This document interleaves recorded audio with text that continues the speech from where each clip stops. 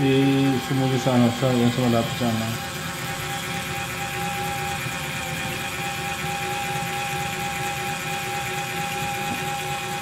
So ito kung paano ginagawa. Ayan o. So ano.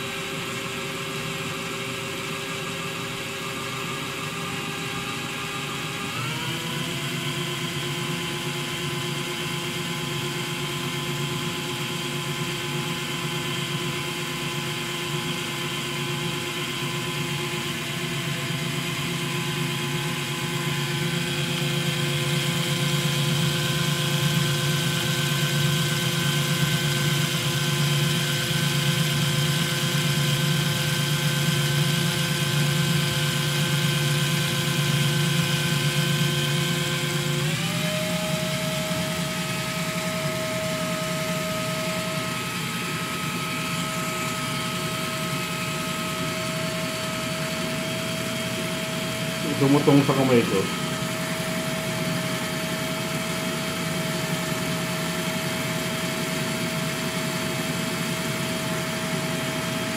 Okay na okay na.